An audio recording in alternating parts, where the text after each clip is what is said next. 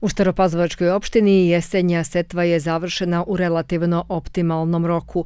Ozime strnine, pšenica, ječam i uljana repica posejene su do polovine novembra na 7600 hektara, što je za 20% manje nego prošle jeseni, na što je uticala niska otkupna cena, navodi se u informaciji opštinskog odeljenja za poljoprivredu. Pšenica zauzima oko 6000 hektara, a uljana repica svega 150 i to u Podunavlju, što je malo za ovo područje. Uslovi za pripremu i setvu su bili dobri.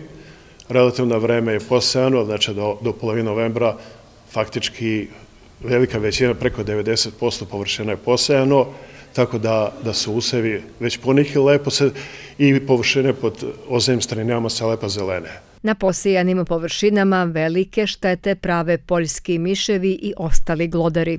Nezapančen napad, to entomolozi govore da, da, je, da to, to je eklozija i to u posljednje godina nismo doživjeli.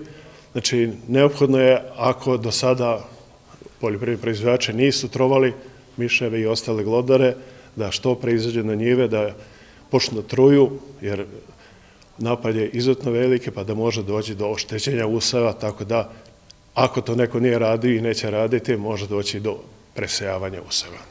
Ocenjujući jesenje radove u izveštaju Odeljenja za poljoprivredu koji su odbornici lokalnog parlamenta usvojili, također stoji da su u ovoj godini ostvareni niži prinosi suncokreta i šećerne repe, veći kod soje i kukuruza koji je doneo proseg od 8,8 tona po hektaru, ali cena od 16 dinara nije zadovoljavajuća. Poslednjih nedelja se postepeno povećava tako da postoji nada da bi oni koji još nisu prodali kukuruz mogli do proleća da ostvare profit.